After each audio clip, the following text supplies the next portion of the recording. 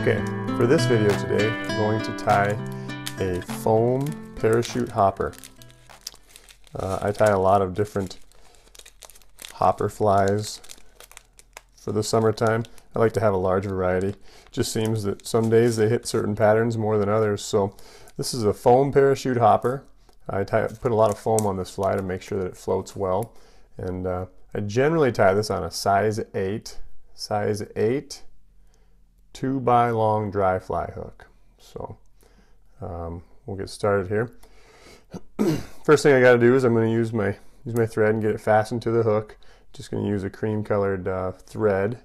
Sometimes I'll use a, uh, a black thread, but for today we'll, I like to use the cream. It blends in a little bit better with the colors of the fly that we're tying. so I get the thread back here to the back of the fly Get that snipped off. And on this fly, we're going to use two different colors of foam. We're going to use yellow and gray. You can use a number of different colors. Sometimes I like to use tan, which actually probably imitates the color of a grasshopper a little bit better. But this one, I'm going to go with yellow and gray, a little bit brighter color, maybe a little bit more attractive. So tie that in here to the back, holding those two pieces of foam together get that tied in. And nice tight wraps. Once I get that on there as good as I can then I try to just kind of use the thread to work the rest of that foam down a little bit. Not really going to need that. Okay now that I've got that fastened down I'm going to take my thread up to the front here up towards the front of the hook right about there. And we're going to take this yellow foam and we're going to wrap the yellow foam. As I said before, this is a this fly has a lot of foam on it. I prefer to use that. Helps the fly float a little bit. So I'm going to take that foam and wrap it around the hook. And you can wrap it as tight or loose as you would like. I like to go relatively tight because if I go loose, it gets too bulky. So nice tight wraps. Working up towards the front here. And once I get it up to where my thread was at, notice I left quite a bit of space up at the head end of my fly because there'll be a little bit of work to be done up there. So once I get that on there, whoop, quite a few tight wraps to hold that, that foam right there, the yellow foam, in place. Okay, snip that as low as I can get it.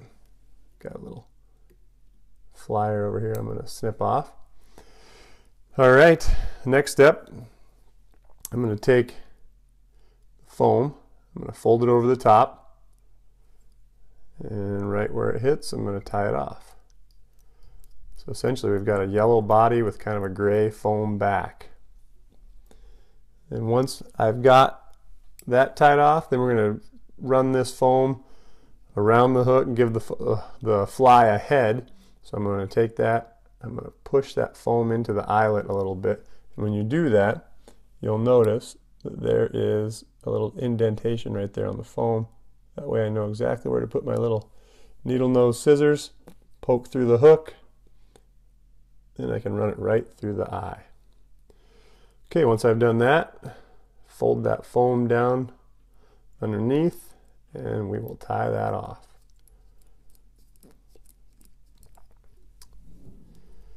Okay, don't need this portion, so again, I'm going to snip that. Try to stay away from my thread here, but I'm going to snip that as tight as I can to the hook.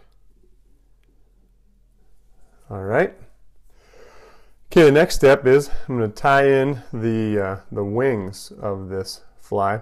And what I've used here is I've got uh, a turkey feather, turkey wing feather actually, and I put fly head cement on it, a little flex coat on there just to kind of add to the durability of the fly. Sometimes if you don't have turkey wing and you have the other synthetics, sometimes I'll use what's called web wing, which also works nice. If I use the web wing, I will also put the flex coat on it as it helps increase its durability. This stuff has a tendency to, uh, to start to flare and fray apart after a few fish. So this one though, we're going to use turkey, turkey wing. I'm going to lay that right on top of the fly and tie that in.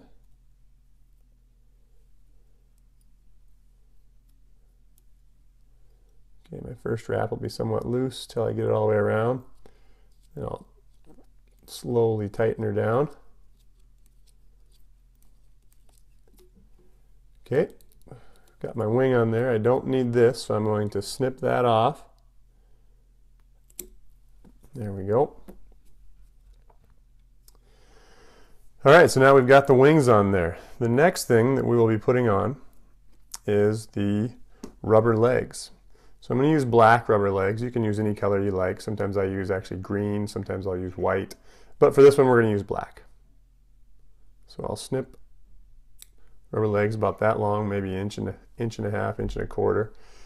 And uh, notice there's two of them. They're attached together. I like to tie them on that way because they're easier to split when I put them on the hook. So about splitting the rubber leg right in half as far as lengthwise. This side should be the same length as this side. I put about three loose wraps.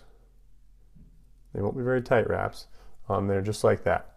So then I can take this, hold the rubber legs up, run my scissors right through there, pull up, and now I've got four rubber legs. I grab this side, I grab this side, and I just pull.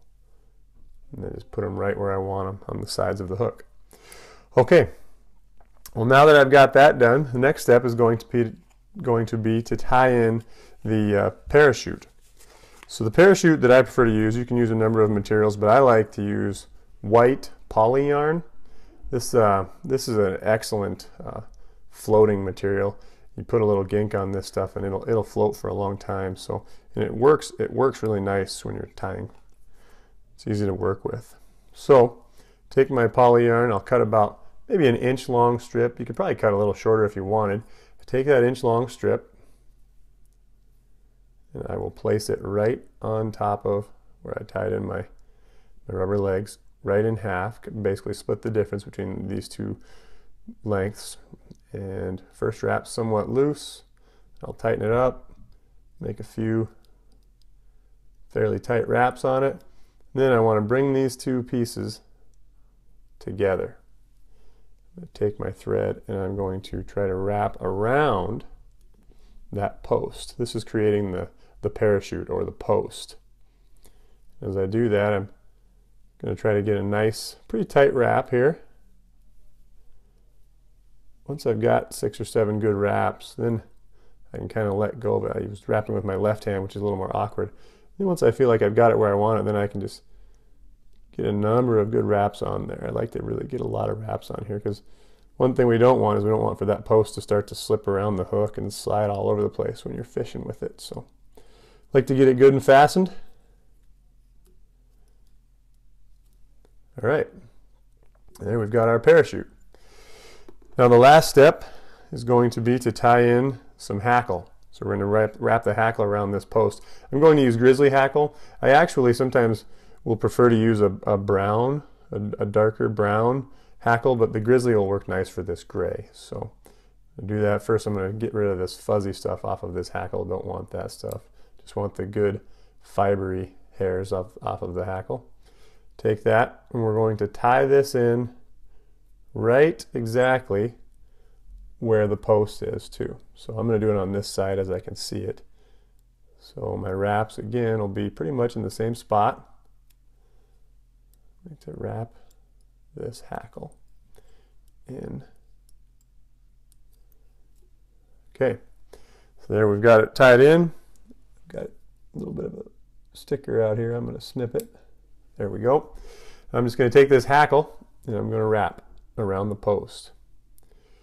Now, since this is not a large, you know, this isn't not a mayfly, we're, we're, we're mainly putting this, this hackle on here uh, to actually help the fly uh, help its floatability and so that it rights itself in the water a lot more. So you can wrap quite a few wraps on there until you feel like you've got good good looking hackle base. I think that's all I'm going to do right there. This is the hardest part of this fly.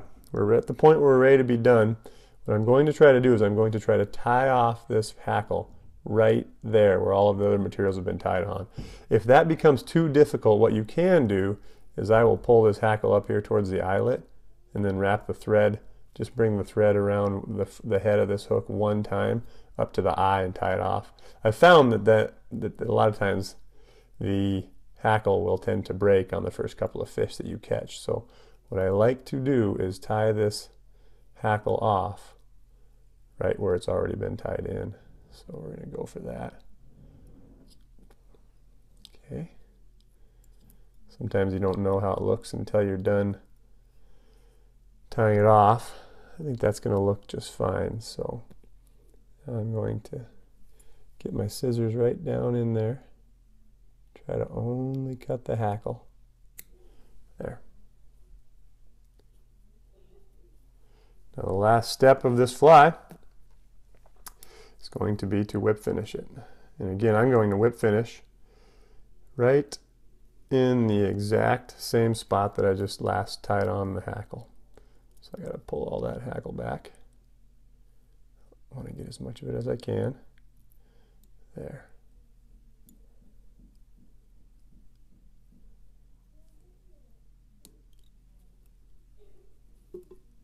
Oh, got the rubber leg in there. Don't want that.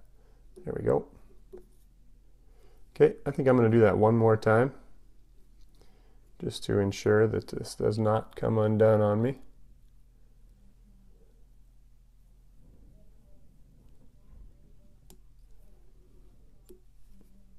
There we go. Okay, so I can cut my thread.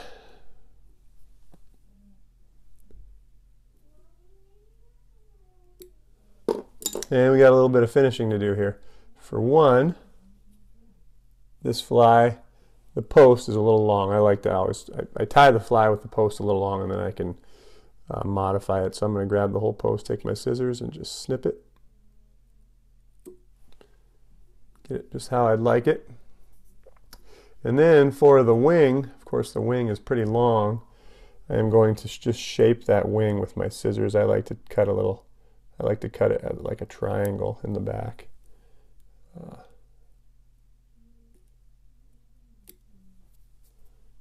There we go. That, that turkey wing had a little bit of a curve to it, so it's not a perfectly straight back wing, but looks pretty good. So that is a version of the foam parachute hopper. Give you a couple of different looks at it. So it's going to look like from the bottom. Like I said, you can tie that with different colors, and sometimes that, with, like with tan foam, it looks really nice as well. From the top, there it is. Like I said, this was a little bit curved. It kind of slides to the left, to the right a little bit, but still looks good. Sometimes if you get a longer turkey wing, you'll get a, a little nicer look on that back. But So there it is, foam parachute hopper.